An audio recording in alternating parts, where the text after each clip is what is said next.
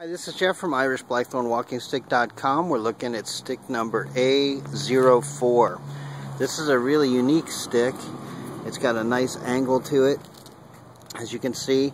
And I also want to point out that it comes to a point, which makes it really useful if you're, uh, you know, warding off a dog or you know, using it for some kind of self-defense purposes.